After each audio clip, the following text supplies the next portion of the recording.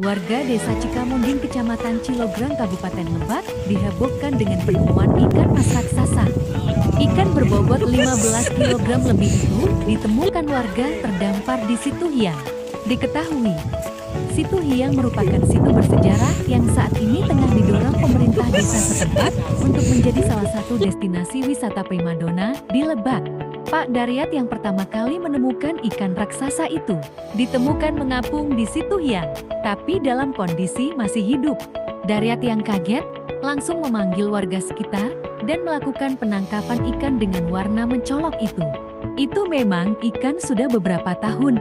Warga secara tidak sengaja memasukkan ikan ke situ Hiang. Ternyata kondisi air dan pakan yang bagus membuatnya bisa sebesar itu. Ikan mas yang berhasil ditangkap disantap warga ramai-ramai di kantor desa.